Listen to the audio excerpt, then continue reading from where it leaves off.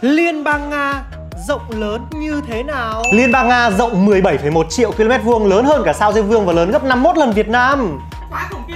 Trước khi Liên Xô tan rã thì Liên Xô có diện tích gấp bao nhiêu lần nước Nga bây giờ? Diện tích của Liên Xô là 22,5 triệu km vuông gấp 1,3 lần nước Nga bây giờ. Ôi trời ơi. Vậy Liên Xô có phải là quốc gia lớn nhất trong lịch sử nhân loại hay không?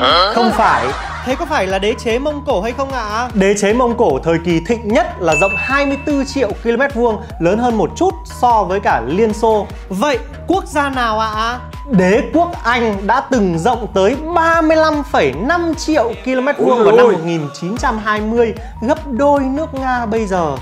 gấp đôi nước Nga bây giờ.